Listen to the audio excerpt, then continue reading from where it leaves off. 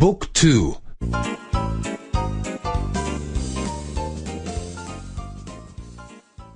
49, 49, sport, sport.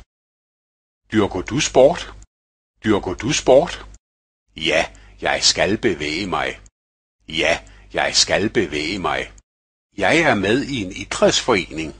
Jeg er med i en idrætsforening. Vi spiller fodbold.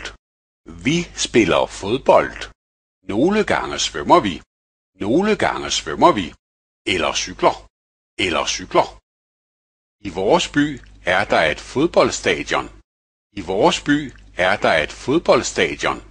Der er også en svømmehal med sauna. Der er også en svømmehal med sauna. Og der er en golfbane. Og der er en golfbane. Hvad er der i fjernsynet? Hvad er der i fjernsynet? Der er en fodboldkamp lige nu. Der er en fodboldkamp lige nu. Det tyske landshold spiller mod det engelske. Det tyske landshold spiller mod det engelske.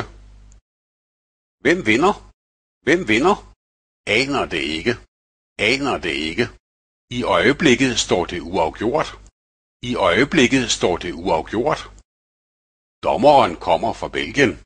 Dommeren kommer fra Belgien. Nu er der straffespark. Nu er der straffespark. Mål 1-0. Mål 1-0.